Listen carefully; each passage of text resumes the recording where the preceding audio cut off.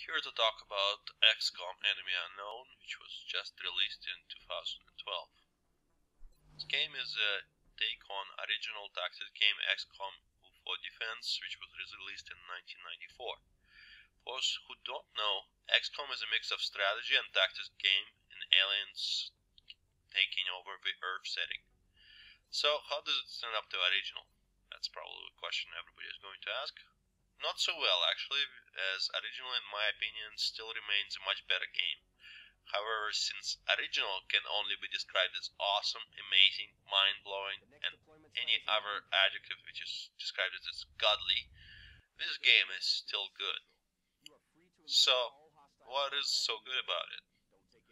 Well, in this new game, we actually have managed to recapture the spirit of original game really well.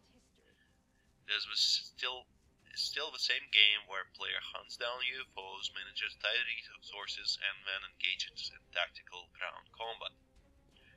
Of course, with Green Dude. The RPG side of things is still strong. You will get attached to your veteran so soldiers, nurture them, and make sure that they're still alive, making you care about every man of your six-man squad, and making sure that they get home safe. The game is much more structured, and I think that's a good thing. There is now a clear mission objective that drives the plot forward, and you will know what you actually need to do to win the game. We have now introduced a tutorial mission which does a good job of introducing the basics of combat for newcomers and veterans alike, as this is a new game so thumbs up for that. Now, moving on to the bad. Bad parts of it, now let's start with the most jarring issue in my opinion is the AI. The AI does not roam the whole map. What it does, it patrols a small portion of the map and does not actively try to engage you, the player, the map un until it's actually you. You first have to uncover the AI and then only then it engages. So you what how the game plays is you explore the map, you find a patrol of two or three units, which is a patrol group, and then you engage them and kill them. Sometimes you may get unlucky and uh, there will be like four or five patrol groups all place, and then you probably should reload your game because probably not a chance in hell you surviving that. But on most of occasions, you will slowly uncover the map. You will see a patrol of two or three units, which at that point it will scramble for cover. And then your job will be to bring down those two, or three units, and then repeat the process all over again. For me, that most of the gameplay is consisting of killing two or three units at a time, it becomes very predict predictable and does not have this chaotic feel of the original of war, of destruction, of unpredictable shot in the back by an alien you missed. This is completely missing from this game which is really too bad. But I digress, that's the way it is. Now a struck point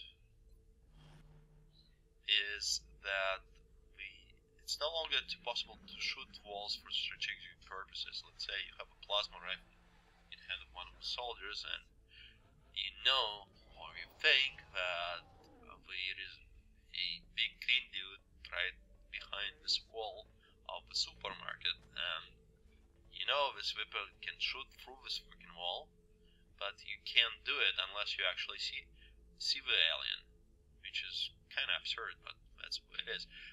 The only exception to that is the explosives. For example, you can lob a grenade, but there is just one grenade or two grenades per mission, which uh, you really don't want to use them for that. So it's a drawback. Basically, the only available shooting targets are the uncovered aliens, and that's it. There's also no uh, friendly fire, let's say alien, there is not, not nothing like, let's say alien is shooting at you, but your guys are punched up, and he misses one and hits another, like it happened in the original. There's nothing like that here.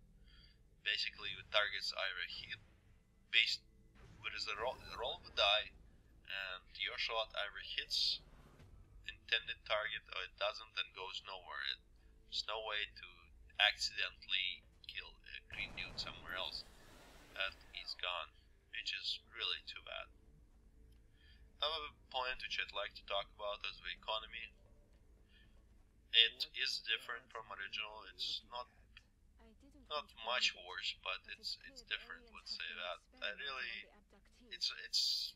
I I say that economy is not a strong feature of this game because I really don't like how we forcibly eliminated all the options of actually gaining any funds for your XCOM other than financing yourself by appeasing the council members of, of the countries that are funding your project was in the original also, but there were other options like, let's say, you could manufacture guns and sell them off to the general public on the black market and uh, make uh, tons of money for that. You also recovered much more artifacts, uh, artifacts for every mission, as uh, the guns were recovered, all the other equipment and it's sold for a fair chunk of money. Now, the missions do not really give you all that much artifacts or anything to sell, so it's, it's very limited. The limitless of I'm I'm not saying that the system is bad. I'm just saying that I don't like how limited it is. So that's another point I covered.